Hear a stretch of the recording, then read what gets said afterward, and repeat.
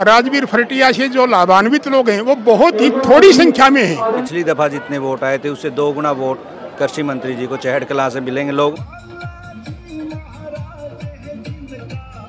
और लोगों में संतुष्टि है कि एक ऐसी सरकार उनकी सरकार है जो उनके सपनों को पूरा कर रही है। नमस्कार मैं हूँ आपका दोस्त विनोद शर्मा। और फ़िलहाल चैड कला गाँव में खड़े हैं और यहाँ पर थोड़ी देर पहले कृषि मंत्री जेपी दलाल पहुँचे।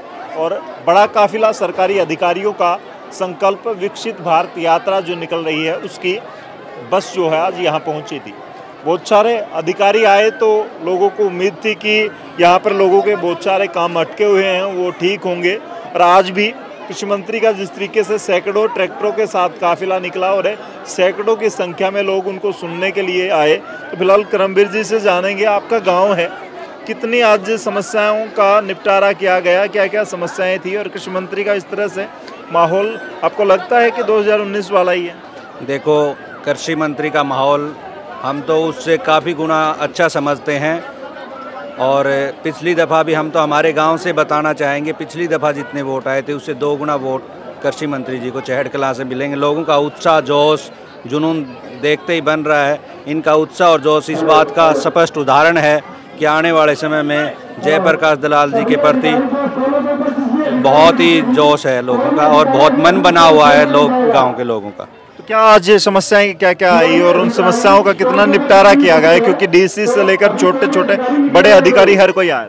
देखिए जयप्रकाश दलाल जी का चहड़ कला के प्रति पहले से ही बहुत मन है और वो चहड़ कला को अपना ही गाँव मानते हैं।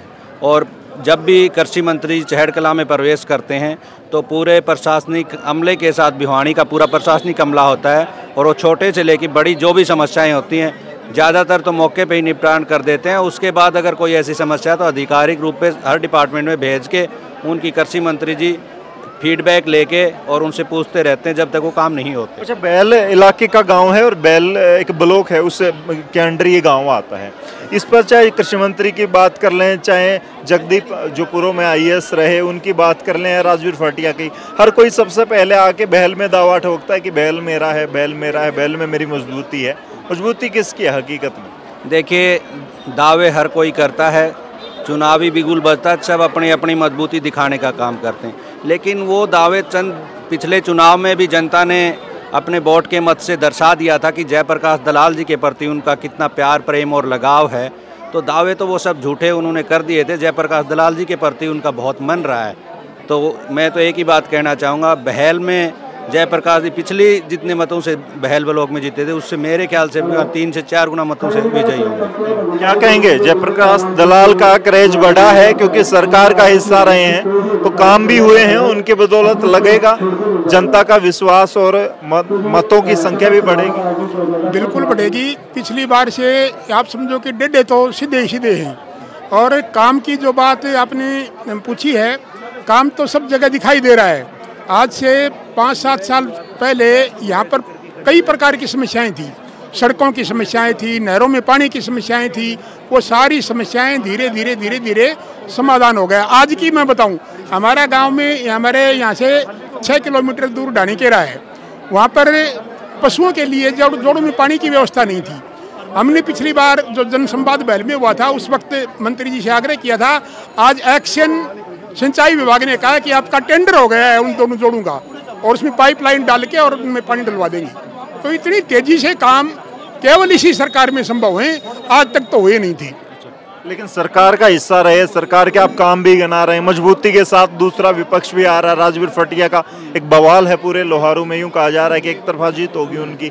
तो काम कहीं ना कहीं कमज़ोर नहीं पड़ जाएँगे। इस तरह से समाज सेवा के नाम पे लोग बहुत आगे आ रहे हैं। बिल्कुल नहीं पड़ेंगे। राजवीर फरटिया से जो लाभान्वित लोग हैं, वो बहुत ही थोड़ी संख्या में हैं। बहुत ही थोड़ी संख्या में हर गाँव में ज़्यादा से ज़्यादा दस लोग होंगे, उनसे लाभान्वित। और इससे हर आदमी लाभान्वित है। हरियाणा सरकार की जनहितेशी योजनाएँ हैं और कृषि मंत्री जी का जो इस क्षेत्र के लगाव है, और खासकर किसानों के लिए जो इन्होंने काम किया है उससे हर किसान और किसान पेशे से जुड़ा हुआ मजदूर सभी लाभान्वित हो रहे हैं। उसका कोई इनका तो कोई मुकाबला ही नहीं है। फ़िलहाल क्या मानते हैं जिस तरीके से चौक में यहाँ पर महिलाएँ खास करके बड़ी पड़ी थी? तो मोदी का जादू और मोदी की बात मंत्री जी ने मंच से बार बार की। मोदी का जादू चलेगा लोकसभा में? बिल्कुल चलेगा मोदी का जादू।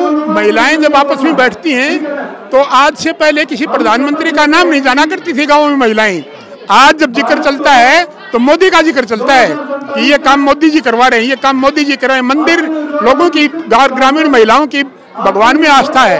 अब मंदिर वाला इशू जब महिलाओं तक पहुँच गया तो आप समझो कि मोदी हर महिला के और हर परिवार के घर में हर व्यक्ति के दिल तक पहुँच गए। तो फ़िलहाल आने वाले वक्त में इन सबको लगता है कि मोदी का जादू चलेगा और हरियाणा में बीजेपी के कामों के बदौलत लोग उनको वोट देंगे आने वाले वक्त में कितना बदलाव नज़र आता है लोहारू में खास करके, कितना दबदबा आपको जेपी दलाल का नज़र आता है, क्या जनता दोबारा से उनको भेजेगी चंडीगढ़ या आने वाले वक्त में कोई नया चेहरा लोहारू से मजबूती से आपके सामने खड़ा होकर चंडीगढ़ पहुंचेगा? फ़िलहाल इस वीडियो को शेयर करें। तब तक के लिए धन्यवाद, राम राम, जय बड़ा खुशी का माहौल है और इस यात्रा के माध्यम से किसी को सिलेंडर मिले, किसी को बुढ़ापा पेंशन मिली, किसी के हेल्थ कार्ड बने हर आदमी को कोई ना कोई घर में बैठे लाभ मिला है। प्रशासन के अधिकारियों ने पूरा सहयोग दिया और ये एक अच्छी योजना है कि जनता के दरबार में जा कर के जनप्रतिनिधि हो अधिकारी हो उन्होंने उनकी सेवा की है। और चैड़कला गाँव के अंदर आज हमने जो? हॉर्टिकल्चर डिपार्टमेंट के लगभग दो करोड़ रुपए की सब्सिडी के स्वीकृति के पत्र दिए। इसी तरह से एक लाख साठ हज़ार रुपये तक के पीकेसीसी बने, वो वो दिए। बहुत सारी योजनाओं के और भी लाभ इन लोगों को मिले।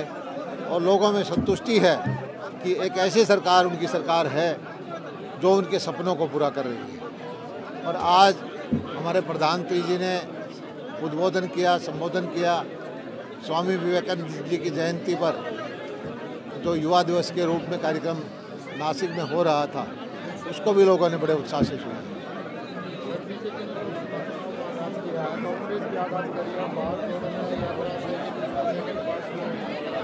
चुनाव का वक्त आ गया है। जनता के दरबार में सब लोग जाएँगे। हम तो हर वक्त जनता के दरबार में रहते हैं और कुछ मौसमी पार्टियाँ हैं जो चुनाव के वक्त ही जनता के दरबार में जाते हैं। अब जनता जनार्दन को फैसला करना है कि किसको वो आशीर्वाद दे।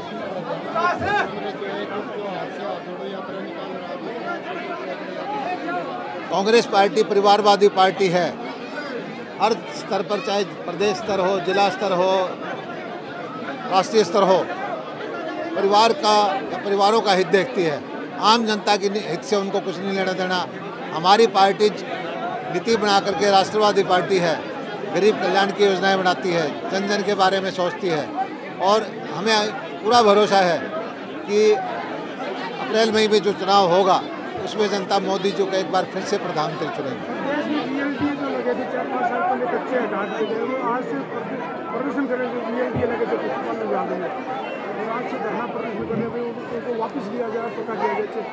जो भी किसी की समस्या होगी, उसका समाधान हम करेंगे। चाहे कोई वर्ग हो समाज का, उसकी समस्याओं का हम समाधान करने के लिए तैयार हैं।